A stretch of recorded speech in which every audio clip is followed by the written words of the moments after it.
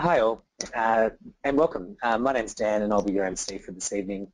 Uh, before we get started, I'd just like to start by acknowledging the traditional owners on the land upon which we meet. In Sydney, where we're meeting for the webinar, it's the Gadigal people of the Eora Nation, and of course we pay respects to our Indigenous owners around the country. Tonight you've joined us for the, uh, launch, the launch of Stand Up for Solar, a campaign of solar citizens. We've just held five launch events in cities around Australia with nearly a thousand people coming along. This included Brisbane, Sydney, Melbourne and, and on the Sunshine Coast. We've brought, provided this online webinar for people who couldn't make it to one of those events. And it's fantastic having so many of you guys here and I can still see the numbers climbing as we start speaking. But before we go any further, what we want to start by doing is asking, finding out a little bit more about you, about the people who've dialed in on this cold night uh, to have a chat to us. So we set a quick poll. So there's an online poll that you can participate in, uh, and you can participate in right now. So the poll should be coming up on your screen. Uh, and the question is this, we know you love your solar, but is it because you have solar, you want solar, or you work in the solar industry? So what you'll need to do is tick your response there, and we'll read out that for, in just a moment when you fill out that poll. So while we're waiting, I thought I'd give you guys some fun facts about solar power. Uh, did you know that according to the Clean Energy Regulator, we've almost hit 1.4 million solar systems installed? That's pretty amazing, 1.4 million households living under a solar roof. We've got 83% done, we're getting there slowly but surely. Fun fact two, and another thing you might not know, is that the top three electorates in Australia that have the most solar PV systems are Wright and Kennedy in Queensland, and Mayo in South Australia.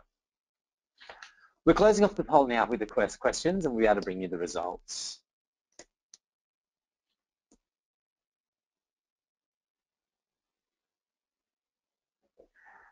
So we know you love solar, but it's because 70% of you love have solar, 31% want solar, and, and 9% of you work in the industry. Thanks very much. Now we'll come to our second poll question. Remember, in this poll question, you can choose more than one option if you wish. So what are you hoping to get out of this webinar? Are you hoping to learn more about solar in Australia?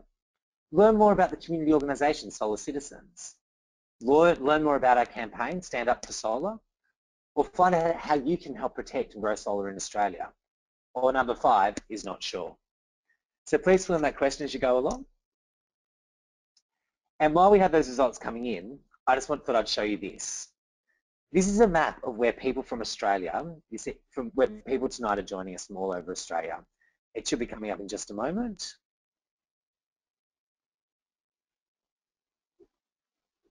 Okay, that's okay. We'll show that for you in just a minute. Um, I'll give you another fun fact while you're filling out the poll. Another thing you may not know is that the bottom three electorates that have the fewest solar PV systems are Wentworth and Sydney in New South Wales and Melbourne Ports in Victoria. So we're nearly there with the results. We're 90%, so there's a few people who are still waiting to come along. Let's see what we've got. We're going to close it now. It's Just waiting for those details to come up. So what we can see here is 63% of people who have come along want to learn more about solar in Australia. 45% want to learn more about the community organisation, Solar Citizens. 65% want to learn more about our campaign, Stand Up for Solar and 79% want to know how they can help protect and grow solar in Australia. And others of you aren't sure, but that's great. By the end of the night, you'll have lots of ideas for what you can do to work with us. So tonight we're here to launch Stand Up for Stand Up for Solar. This is a campaign run by Solar Citizens. And you can see there the map directly in front of you, which indicates where all of the people around Australia and a few international people I've been I've been told have gathered to hear about our campaign Stand Up for Solar. Stand Up for Solar is a campaign designed to pull solar and renewable energy out of the political quicksand. We want to see a bold and ambitious plan uh, for solar and renewable, renewable energies within Australia. And tonight, you're going to find out how we can do it and how you can help us. So what we're going to start by doing is take you through the program for this evening. Just waiting for my screen to come up. Just as a little um, as a little thing, if you have questions throughout the evening, there is a chat function on your screen where you can type your questions, and we'll be selecting questions and going through those at the end. So we've done the interactive poll questions, and you can see we've got a variety of different people from a variety of different backgrounds, all here to learn more about solar in their communities. Um, we'll, we'll, be hearing very soonly from our keynote speaker, Nigel Morris.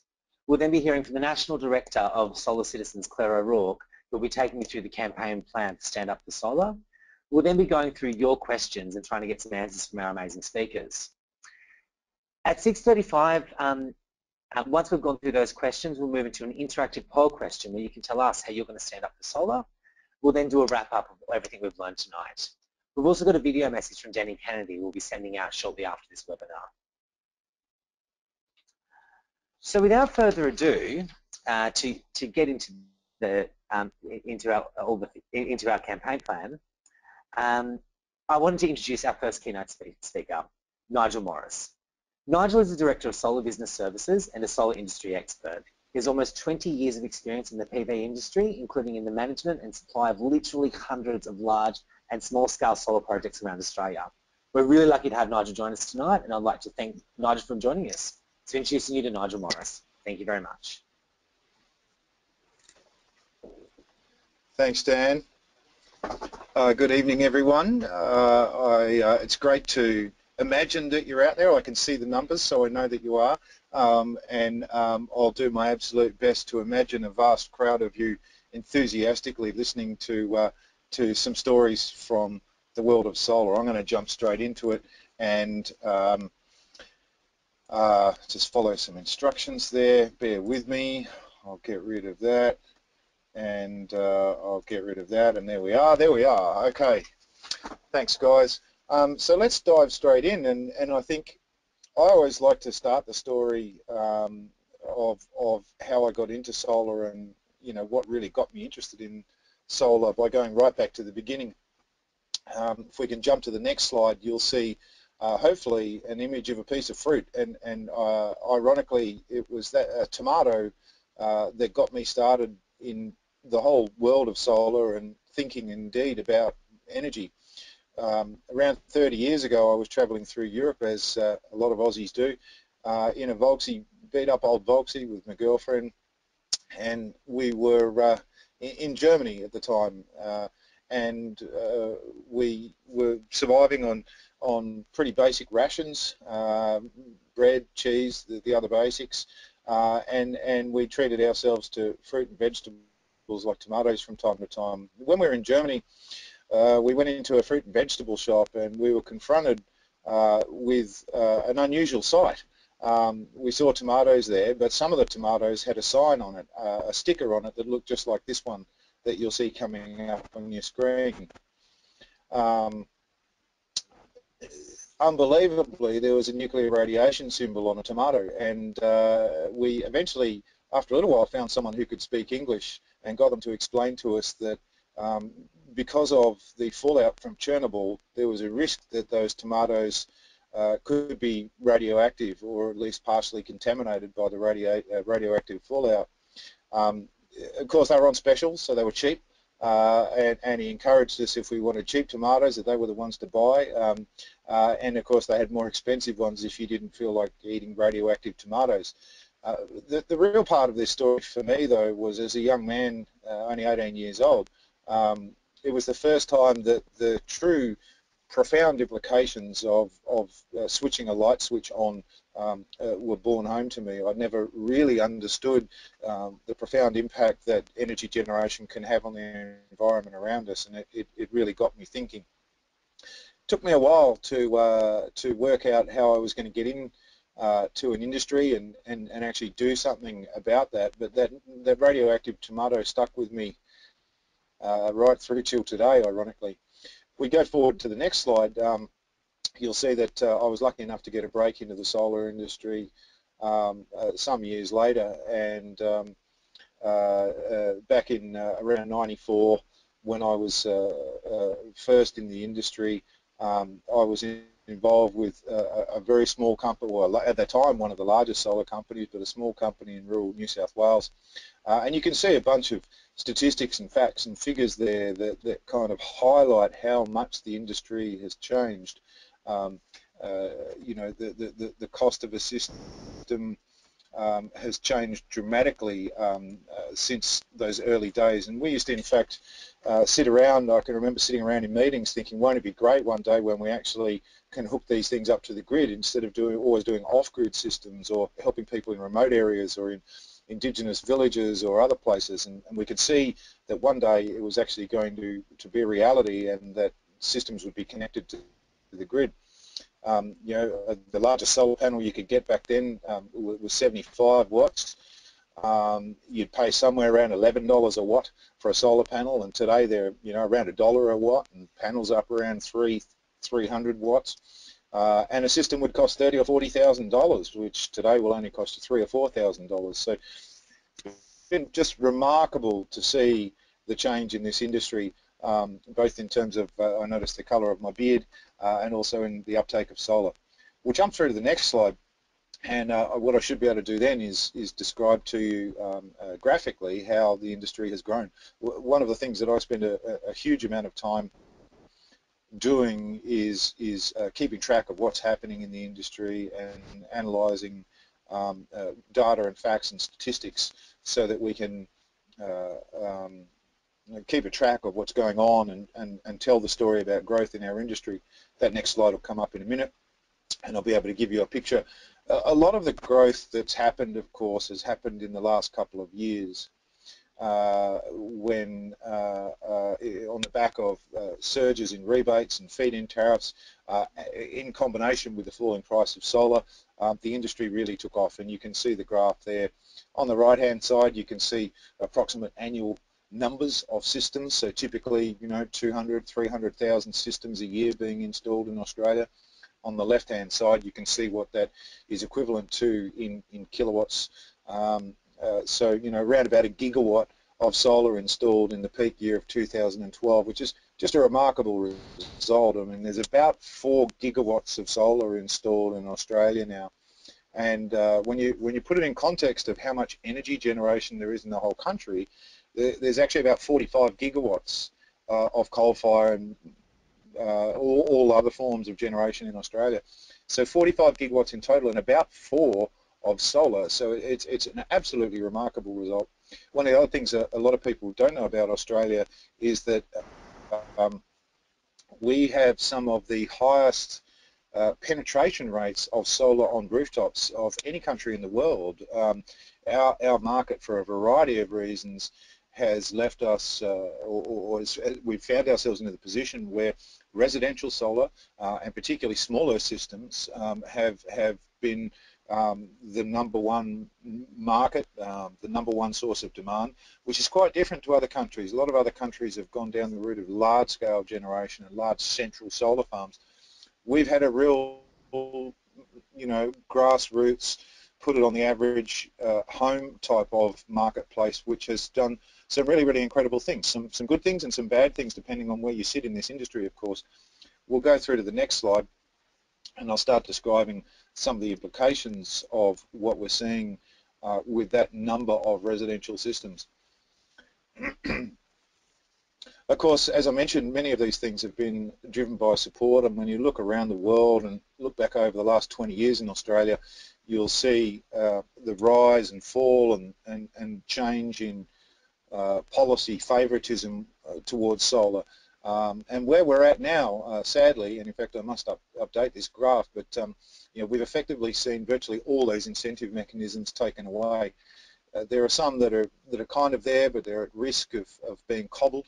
Um, but a huge number of factors have actually uh, changed to the negative. Um, uh, you know, uh, to hear, for example, our own Prime Minister coming out uh, and talking about um, uh, the, the, cost of solar and the impact it has on electricity bills in, in, in, a, in a nothing short of a deceptive way really changes community attitude towards solar. We've, we've seen some real attacks on solar because it really is undermining uh, the status quo and it's changing the way things uh, happen in this country and, and uh, it's uh, not always easy to understand um, and, and if you were if you were suspicious, you'd, you'd, think that some people were actually trying to uh, trying to hold solar back. Um, uh, nonetheless, we are where we are, and one of the great things about this market, in fact, is that even in the absence of subsidies, consumers won't go away uh, when it comes to their demand for solar. Um, we've seen the market slow down, as you would have seen on the previous graph.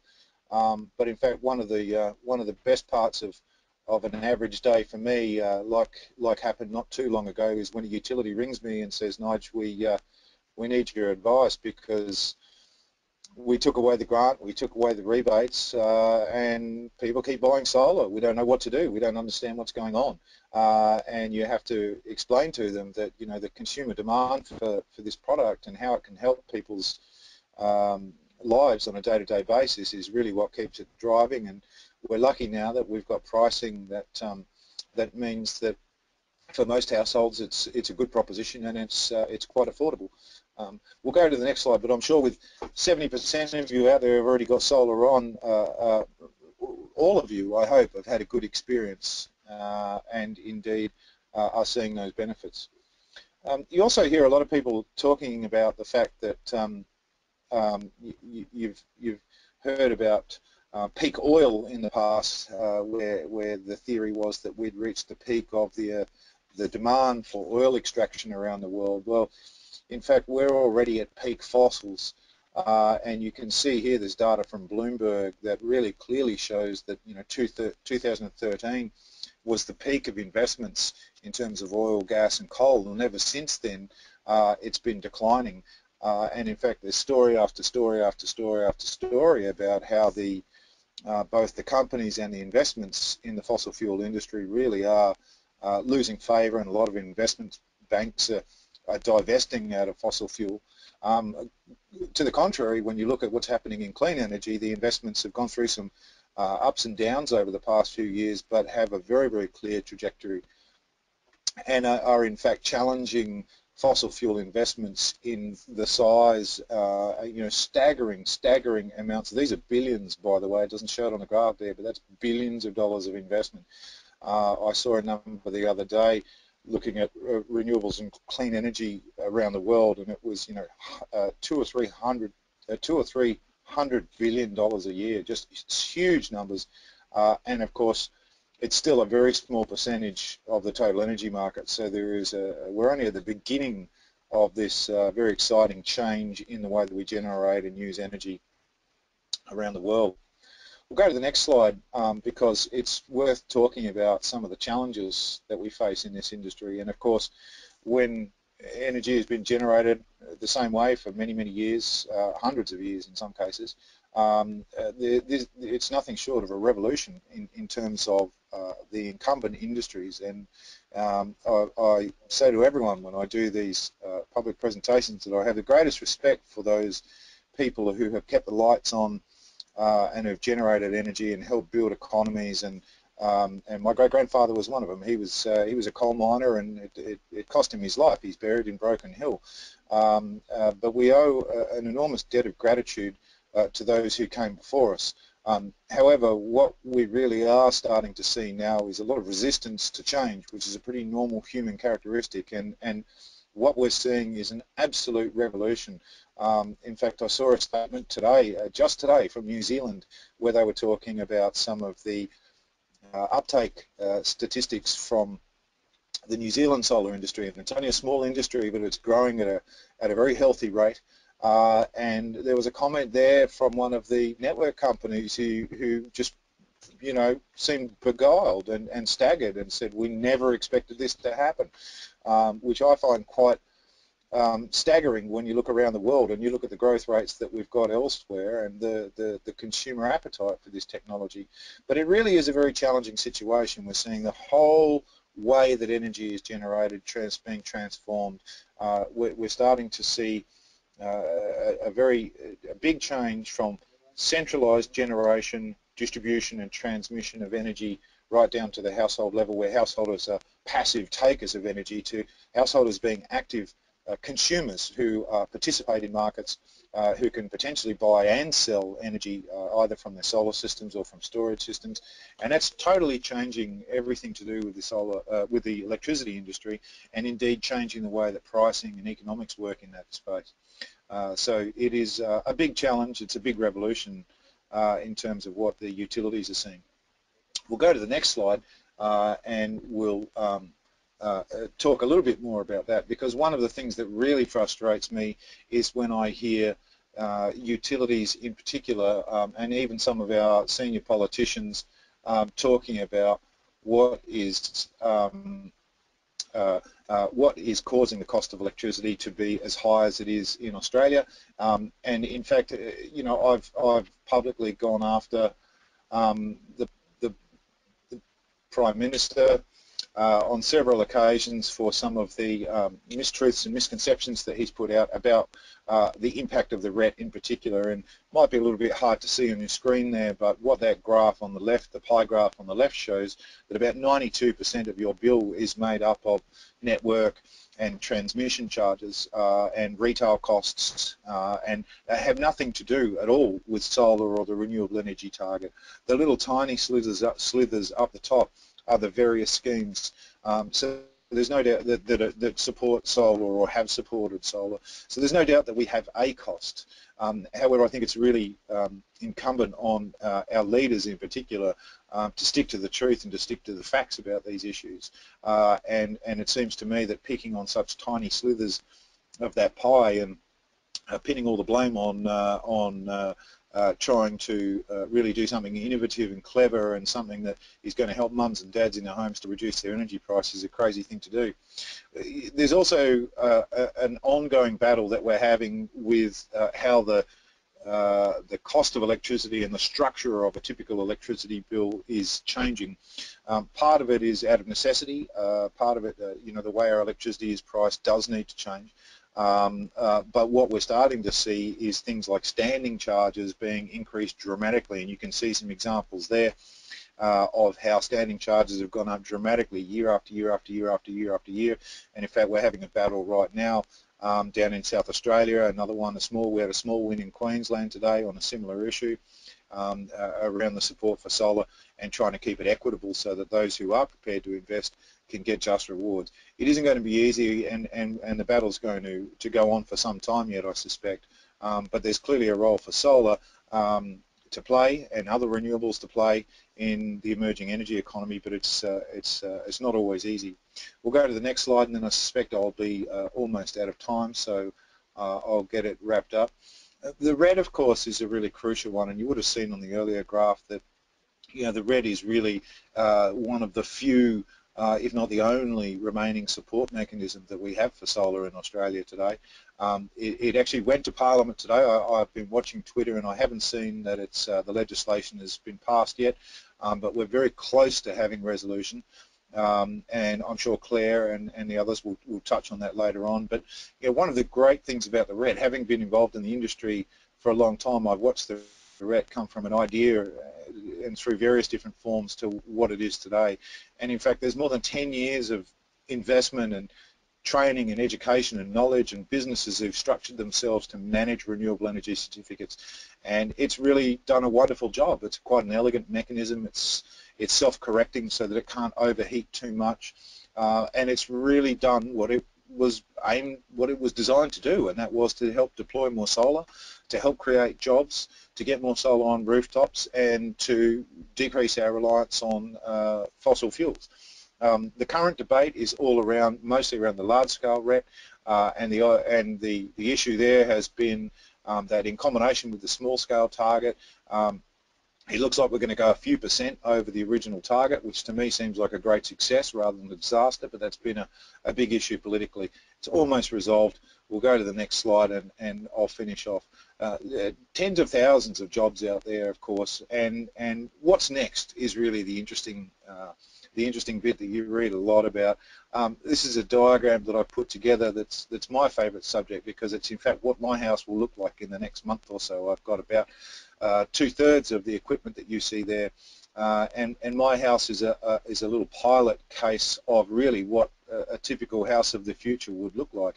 I'll stress I'm not in a palatial mansion. In fact, I'm in a fairly basic 50-year-old uh, property that, I, that I rent off a very amenable landlord.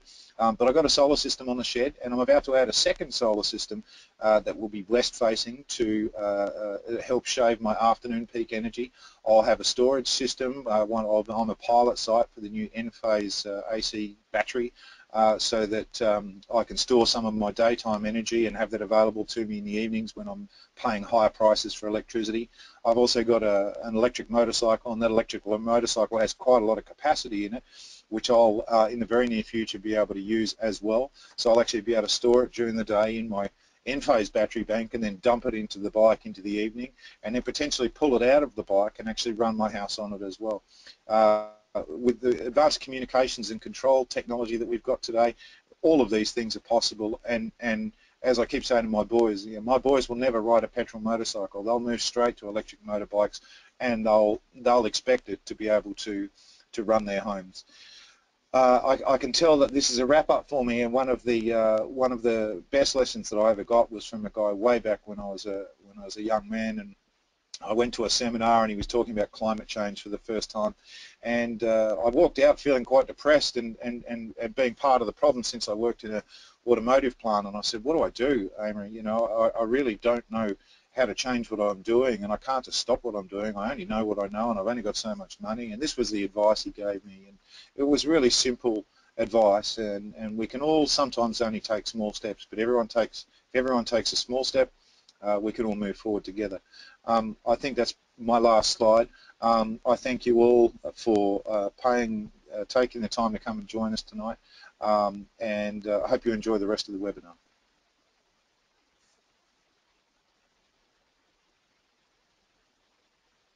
Thank you, Nigel. Um, hopefully everyone can hear me and see me. Um, now we've got a few questions coming in. Just to answer one of them, we will be recording tonight's webinar, so you will be able to listen to this again and get all excited. Um, and there will be time for questions at the end, and we'll go through your questions that are coming through on the chat. But keep asking them so we know how to, uh, so we, we, can try and respond to as many as possible at the end. But now let's get into it. Um, our second keynote speaker has just appeared on my screen, um, and that is Claire O'Rourke. Claire is the National Director of Solar Citizens. Claire has more than 15 years of extensive experience in communications, advocacy and community campaigning and she's also, like a lot of us here, a proud solar owner. Uh, Claire is a former journalist and campaigner and was part of the Every Australian Counts campaign for the National Disability Insurance Scheme. She's on the line tonight to launch the new campaign, Stand Up for Solar. Thanks so much for joining us, Claire. Hello, I'm just going to get my presentation up here for you. Um, but while I do that, I just want to say how fantastic it is to see hundreds of people from all around Australia who are tuning in tonight and um, thank you for having us into your homes or your workplaces. It's really fantastic and really exciting for us to see that. So um, tonight I'm going to talk to you about the Stand Up for Solar campaign, but before I do that, I just thought I should let you know a little bit more about Solar Citizens and where we came from. Um, so Solar Citizens began its life as the 100% Renewable Community Campaign and um, we were basically a coordination of um, efforts from community groups around Australia that wanted to reduce our reliance on fossil fuels and look towards um, a future of 100% renewable energy using the vast resources that we have in our country. Um, so we advocated for policies like the expansion of the renewable energy target that Nigel's talked about a bit earlier tonight um, and other really big picture policy pieces that have helped get our renewables industry really cranking and get solar on our rooftops. Um, that's the Clean Energy Finance Corporation, the Australian Renewable Energy Agency, and that, those types of things. So, um, so uh, in about 2012, um, our founder, Lindsay Soutar, noticed something really revolutionary was happening in PV. So back in 2007, when 100% renewable was um, started, that we had about 14,000 solar systems installed on rooftops around Australia. And as Nigel showed in his slide, and I've got another version of it on this slide on your screen now, you'll see that in 2012 things had really escalated quite a lot. So fast forward to today and solar has taken off. There's now almost 1.4 million solar systems installed around Australia, just solar PV.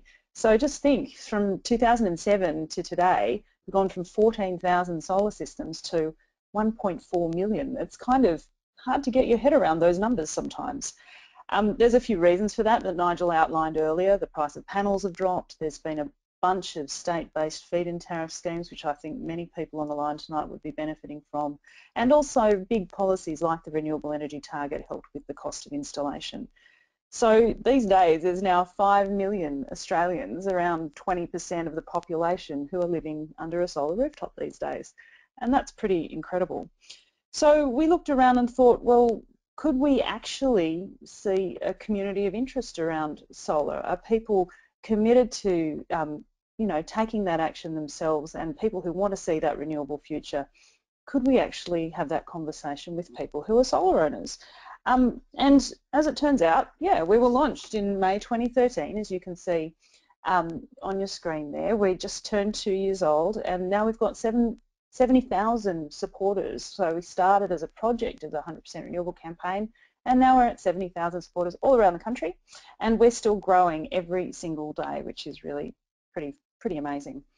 Now our objectives um, for the next couple of years are to ensure an expanded renewable energy target, an expanded renewables goal, and also to maintain those good policies, particularly federal, but also state policies that help get a better deal for solar owners, but also help accelerate that expansion of solar and renewable energy um, around the country.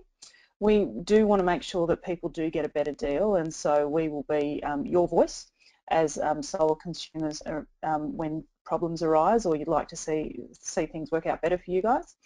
And also we want to see that the solar industry grows and thrives and creates many thousands of jobs. Many, many thousands have been created already, around 20,000 jobs over the last um, 10 or 15 years. And we also really want to build our community of solar citizens, um, solar owners and solar supporters all around the nation who want to see our renewable future become a, a reality. Um, so I just thought I'd talk about some of our campaigns. So just to give you a bit of a sense of what we've done in the past, um, you'll see on the uh, right of your screen um, when Colin Barnett, the Premier of Western Australia, uh, tried to introduce a, a cutback, sorry, the feed-in tariff, um, we sprang into action. We signed up 10,000 people and we managed to reverse that decision just, you know, in a couple of days. Um, hundreds of people made phone calls and thousands of people signed that petition and that, that was a really big win for solar citizens in Western Australia.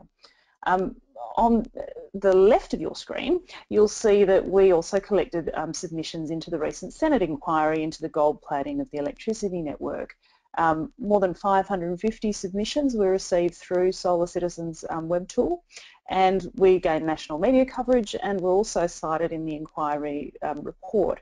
So decision makers are in the room and we're in the room um, with them taking your messages straight to them.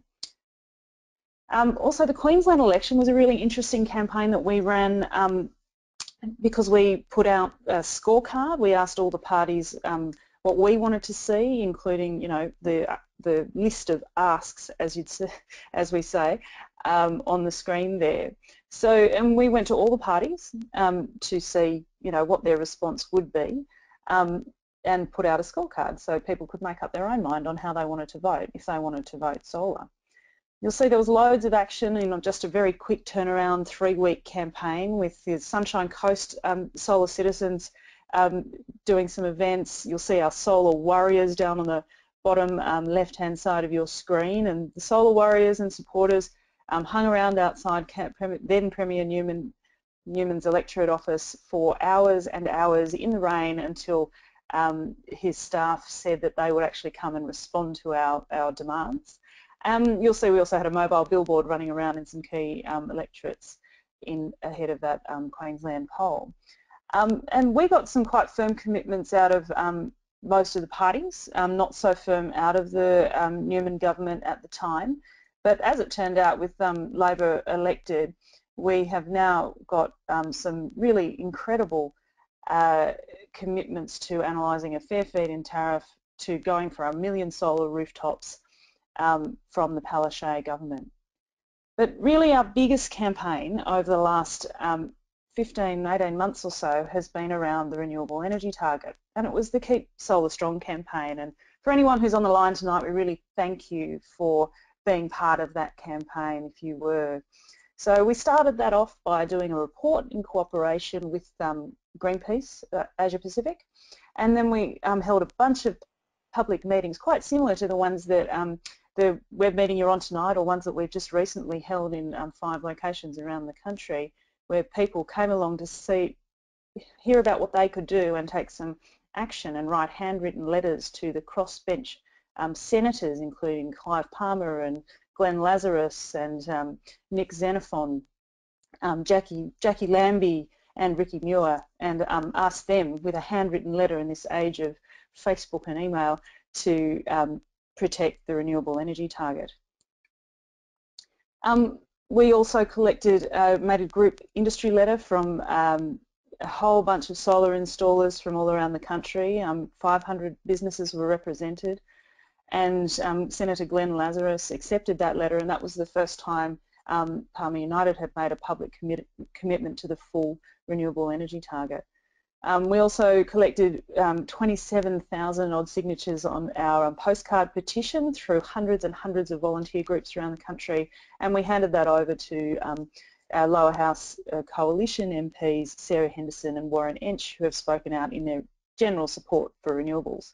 And you'll see at the bottom of the screen there as well we've done um, skywriting and other fun, fun things that can really draw attention to the issue here. Um, back in September last year, we held a rally for renewables, and perhaps some people on the on the line tonight had participated in that. It was a terrific day where we held coordinated events in um, 10, um, eight locations with 10 days notice only, um, and we held those rallies outside the offices of key cabinet ministers in the federal government. And after we held these events, where about 2,000 odd people turned up, um, we actually saw the cabinet formally reject the Warburton review of the renewable energy target, the very review that recommended abolishing the target um, in most respects. So that was a really fantastic result from you know thousands of people out there who took part. Um, one of the most key things that people can do to affect change in their communities is by going and making that direct visit to their MP. And part of the Keep Solar Strong campaign was by taking people from the solar industry, people from the community, solar owners and supporters, and getting them to go in and, and encouraging them to visit their local MP. So we visited a third of the um, parliament, so about 48 MP meetings out of um, the 150 in the House of Reps. Um, more than 150 volunteers took part, and with all of these handwritten letters that flowed into crossbench senators, um, where we're at now is that the small scale part of the renewable energy target has been saved. So you'll probably hear um, or have read a lot about the cuts to the renewable energy target from the 41,000 gigawatt hours to the 33,000 gigawatt hours, which is a terrible thing for, for the industry. Um, and it's a terrible thing for the future of our big solar and big um, wind projects and how quickly they can happen. But um, because of the work we've done and solar citizens have all around Australia have taken part, that's, that means that we have still got bipartisan full support for the small scale part of the renewable energy target. That's the part that actually covers installations up to 100 kilowatts. So um, thanks to the work that people all around the country have taken part in, we now have um, the ability for that scheme to keep going and that's a scheme that is uncapped. So it's a pretty remarkable achievement in the face of what was a pretty horrific assault on renewable energy in, in Australia. Um, but things aren't all great. You know, we do have that cut to the target that's in front of us. It's about to go through the lower house, is my understanding, and it could well be, um, you know, under attack or under, you know, we're, we're not sure what will happen, is what I'm trying to say in the Senate. So what we also don't have is any ambition on what the future looks like post 2020. Here we are at 2015 it's only about five years or less until we're at the end of when this renewable energy target scheme runs and we don't know what's next. We hear talk of vision and ambition from some of our politicians but we don't have a lot that's specific. We still have um, you know, the kind of furphies about solar owners costing um, the rest of the community running around, which we all know is untrue.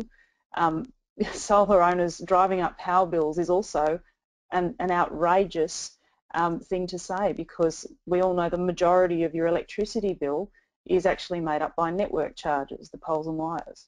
And those are the, the, the overinvestment in those poles and wires is what's really caused the escalation in um, people's average electricity bills over the years.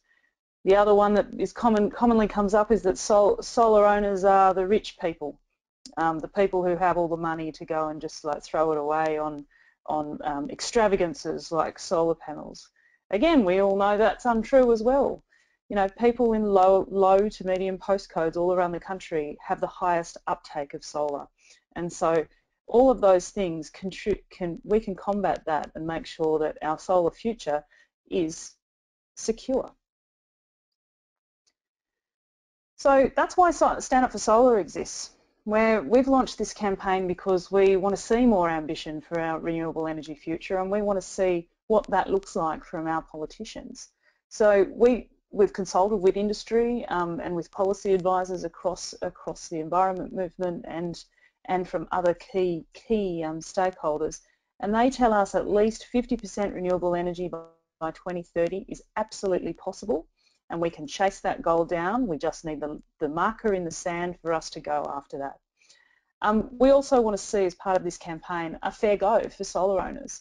We do not want discriminatory charges slapped on solar owners. We do not want to see winebacks of feed-in tariffs. We want to see fair feed-in tariffs for people who are generating that power from the sun. And we also want to see help for households who are struggling with their current power bills we, we all know that the most effective way of taking control of your power bills is by going solar and people who are renting sometimes have difficulty accessing that. So we think there's a role to play for, for governments, for policymakers to help people access solar as, as, as, um, as their power source. So if that sounds like a good idea to you, here's what you can do. It's pretty simple. Three, three things we're asking for from our politicians and there's three things you can do. So you can take the Stand Up for Solar pledge and if you can see me, I hope you can, it looks like this. I'll show it again at the end. Um, you can take the pledge and also ask your friends, uh, your neighbours, become a solar neighbour and have a chat to people you know near you who have got um, solar on their rooftop and are interested in becoming part of this campaign to, to grow um, solar as quickly as possible around the country. Um, also, you can become a Solar champion if you want to take that next step and it's an easy one with all the resources and help that you might need to get you there. You can join us, um, become a solar champion and take that step to go and visit your MP. Um, one of the most important things that's coming up is the ALP National Conference. So we want to see a really good outcome at that conference at the end of July. And so one of the best things you can do if you're in a Labor, um, a, an electorate, a federal electorate that is um, held by a Labor Party MP, is give them a call, book your appointment as a constituent, and they'll sit down and listen to you. You don't have to be an expert to have a good conversation with someone who's a representative in your community. So I'd just really like to encourage you all to join with me and stand up for solar. I'm a solar owner. I've been a solar owner for just about a year now. Um, I've had solar hot water when we, for about eight or nine years when we renovated our very, you know, dodgy house that was um, that is now well insulated, energy efficient, and um, is a pleasure to live in. And solar's been a big part of that for us. So I want to see that happen on every um, rooftop around the country and I'm hoping you'll join with us and take action as part of our Stand Up for Solar campaign. So thanks very much for having us tonight. Thank you, Claire. Um, just getting uh, things sorted. Um, thank you very much, Claire. Now, we've had lots and lots of questions coming in as we've gone through. Um, I just want to remind people that if they have more questions, they can definitely uh, them through the chat and we'll try and get through to them. Um, if you do have a question and we don't get to it tonight, feel free to send us an email to info at solarcitizens.org.au and we can try and get back to you if we don't get to your question tonight. Um, but I might try and get Nigel and Claire back on the screen with me if that's okay, um, if you guys can hear me and are able to do that. Hi Claire. Hi Nigel. We've got a whole bunch of questions. i am um, picking them as we go along. Um, but the one I thought I'd start with is probably for you, Claire, but I think Nigel might have a few things to say about this as well. And uh, do you have any comments in relation to the Grattan Institute's recent report on Australia's solar industry? Um, I was puzzled by some of its pronouncements, and I thought it was rather negative towards solar households in Australia. Claire and or Nigel? Uh, well, I'm happy to kick off with that if you like. Um, we were quite um, troubled by that report as well. We, it was a little confusing because the report seemed to cherry pick um, and really lay the blame at um, solar owners' feet for costing the costing the um, countries costing the public purse we all know that um, the renewable energy target, for example, brings down the wholesale price of power and would have reduced people's bills um, if it had been kept in its current form to 2020. So um, we're troubled by that. The, it does, the report does talk about a bright future ahead for solar and we'd certainly agree, agree with that. But really I think the, the report is um, fuels the fire in terms of that misinformation that is going around around solar owners and I think it's about it's up to all of us to, to call that out. Yep, I, I couldn't add much to that. Fantastic.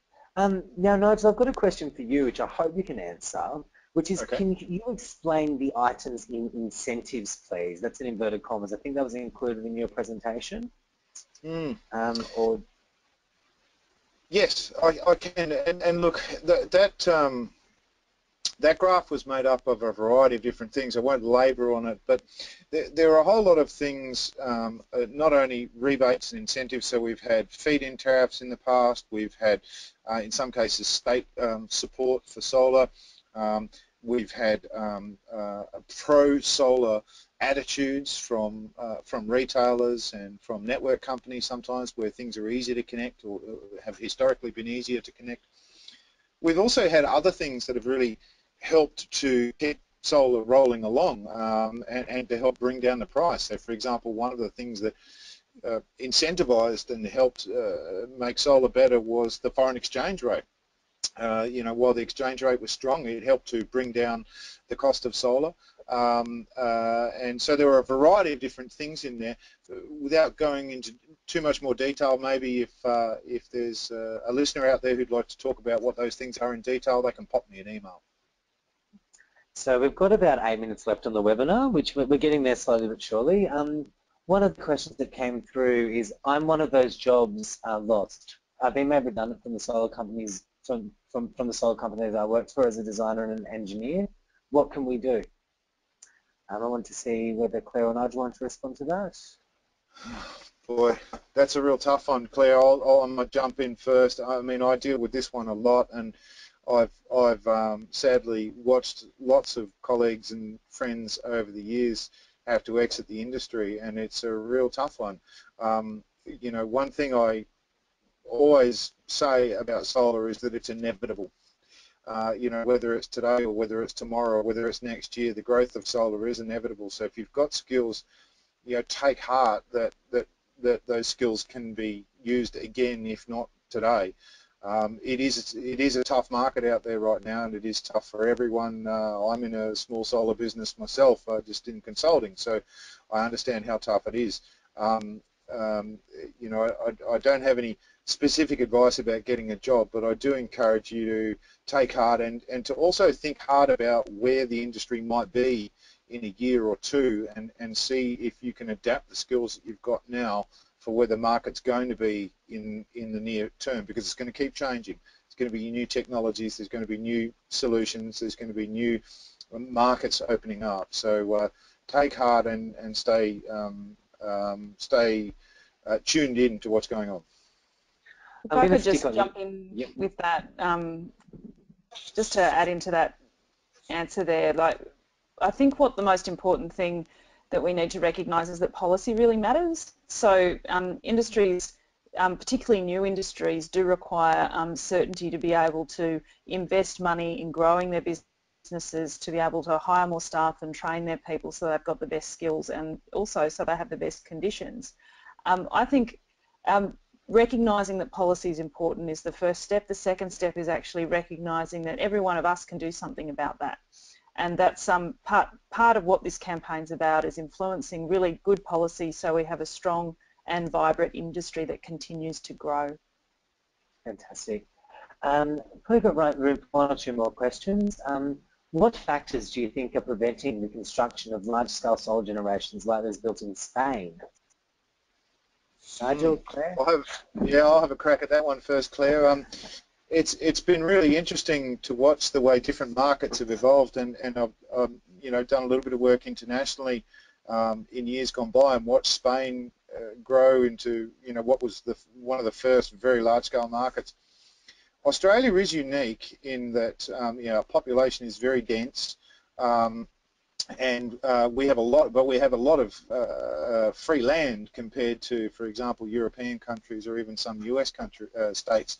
Um, but the simple fact of the matter is that because we have uh, uh, so much coal and so much centralised generation capacity in Australia, and because our demand, particularly in the last few years, has been falling, we don't need large chunks of new energy right now.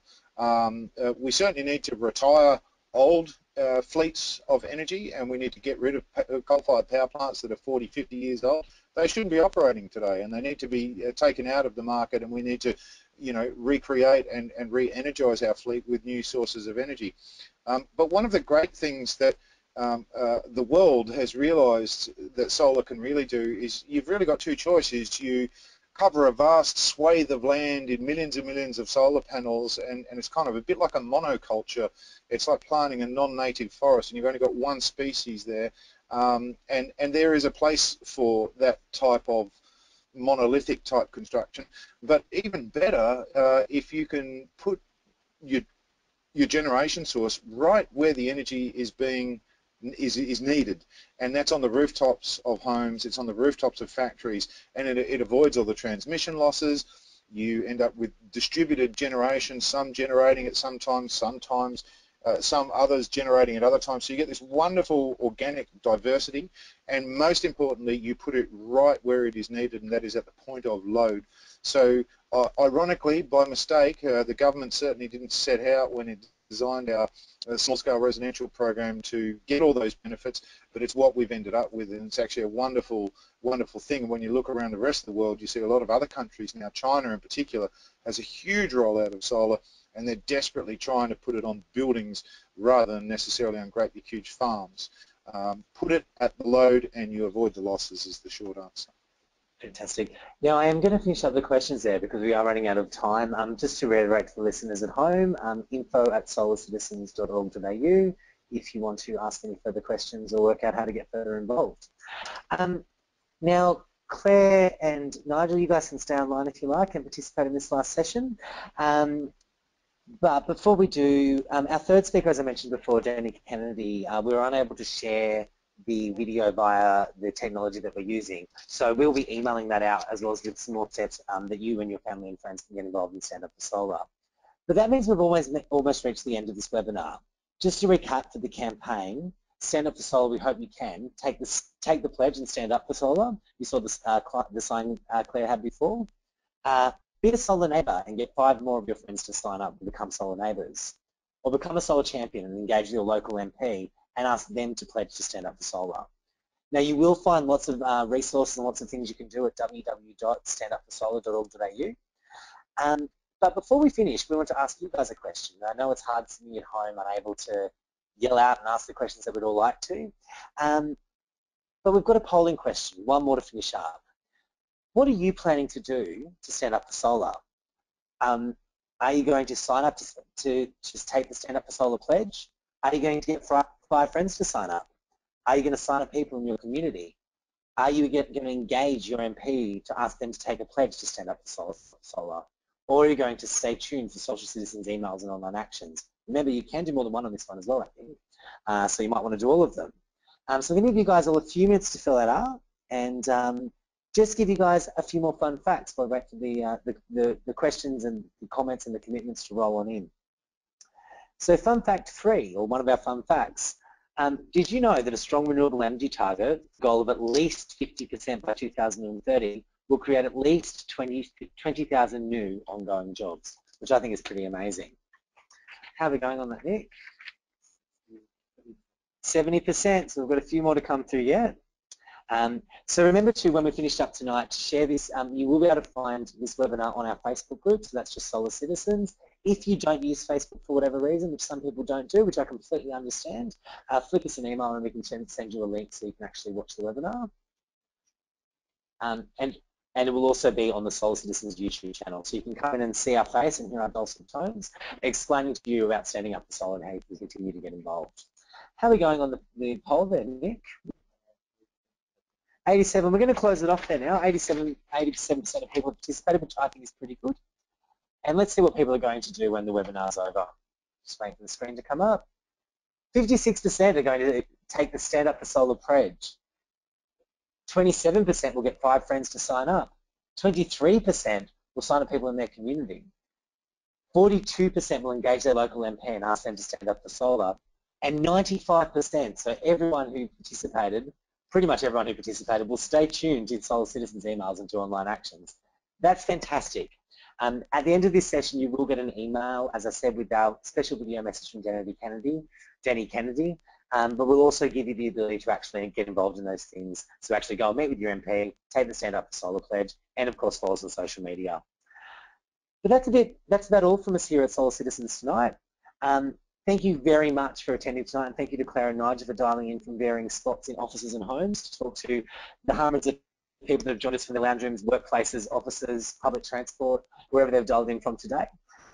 Um, and as I said, make sure you keep an eye on your inbox to make sure that you can work out how to keep getting involved in Stand Up for Solar. Thank you very much for joining us tonight. Have a fantastic evening, everyone. Thanks so much. Bye-bye.